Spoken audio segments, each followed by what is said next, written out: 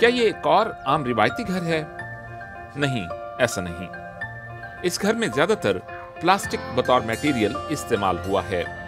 इसकी तामीर के लिए इस्तेमाल होने वाली ईंटें रिसाइकल्ड मटेरियल से बनी हैं और ऐसी तीन हज़ार ईंटें इस्तेमाल हुई हैं। ये न सिर्फ़ मुस्तहकम हैं, बल्कि ये सर्दी और गर्मी से भी बचाती हैं। इन ईंटों के अंदर झिरियाँ या सुराख हैं जो बाहर से आने वाली हिद्दत को आर पार नहीं जाने देते जिससे कमरे का दर्जा हरारत बरकरार रहता है।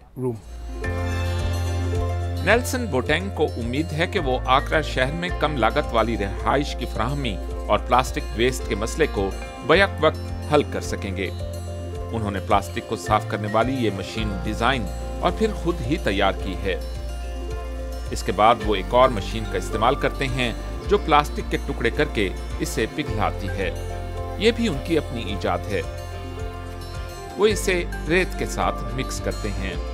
दबाव और बहुत ज़्यादा दर्जा हरारत पर यह पेस्ट एक ईंट की शक्ल तैयार कर लेता है।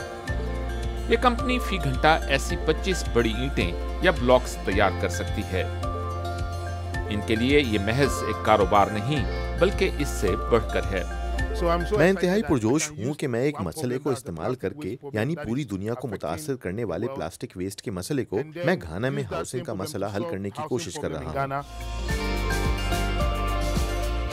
प्लास्टिक के ये ब्लॉक्स आम कंक्रीट की नस्बत माहौल दोस्त हैं जबकि इनकी कीमत एक तिहाई है। इनकी इस इख्तरा के मस्बत असरात से मकामी मार्केट भी मुतासर हो रही है। खास तौर पर जब शहरों के बड़े मसाइल की बात हो तो। लिहाजा अब अगर हमें तामीराती लागत में कमी लाने की ज़रूरत है तो हमें इस इख्तरा की तरफ़ जाना चाहिए। कम अज़ कम इससे कम आमदनी वाले लोगों को छत मिल सकेगी। तो हमें मजीद किसी इंतज़ार की ज़रूरत नहीं क्योंकि प्लास्टिक तो पहले ही हमारे माहौल को आलूदा कर रहा है। अपनी ज़रूरत के मुताबिक तामीर शुदा एक घर। बहुत से लोग जिसका ख्वाब देखते हैं।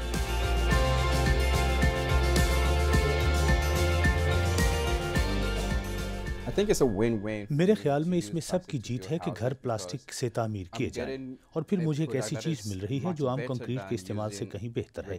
साथ ही बहुत कम कीमत पर जबकि पायदार तरक्की में मैं अपना हिस्सा भी डाल सकता हूँ।